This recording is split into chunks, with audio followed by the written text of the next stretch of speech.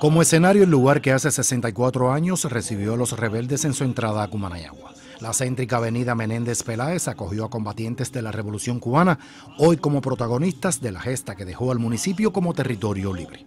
Acompañados de representantes de empresas y entidades, participaron del acto cultural que dirigido por José Oriol González, director del Teatro de los Elementos, mostró lo mejor del arte en la municipalidad. Fue un día de inmensa alegría que marcó el inicio de una nueva etapa de transformaciones a favor de los humildes. El agradecimiento eterno a los combatientes que lucharon para que el sol brillara para todos y en especial a los que hoy nos acompañan.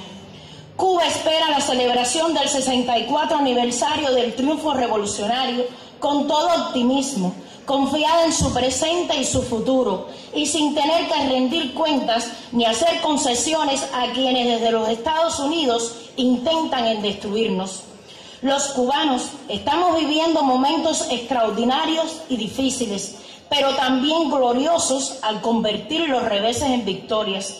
Estamos cerrando un año difícil como pocos y aleccionador como todos, de mucho trabajo en medio del despiadado y cruel bloqueo, la compleja situación económica por la que atravesamos, la carencia de recursos materiales, los problemas con la generación eléctrica, a lo que se suma la batalla mediática y la confrontación en las redes sociales.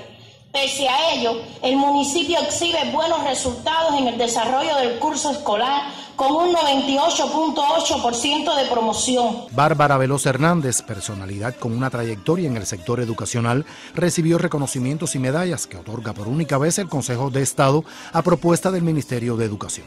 Como cierre, una representación de jóvenes con banderas cubanas y del 26 de julio colmaron el escenario que hoy vuelve a reafirmar que el municipio mantiene la condición de libre. Guillermo Martínez López, Notisur.